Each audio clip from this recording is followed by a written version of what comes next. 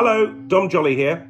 Uh, for the last year or so, I have travelled the globe looking into the weird world of the conspiracy theorist for my new book, The Conspiracy Tourist.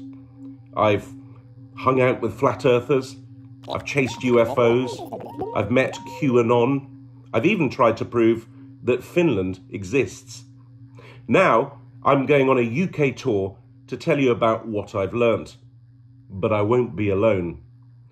In the interest of fairness, I have invited one of this country's leading conspiracy theorists, Dr. Julian Northcote, to join me on my tour.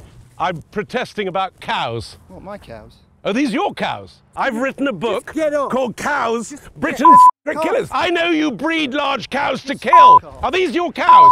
You're irresponsible. Expect the unexpected verbal fireworks, public protests, unexpected knowledge, and a lot of laughs. Or maybe that's just what me and George Soros want you to think. Anyway, have a look, see if I'm playing anywhere near you, and get tickets now for Dom Joly, The Conspiracy Tour. Okay, that's cool, isn't it?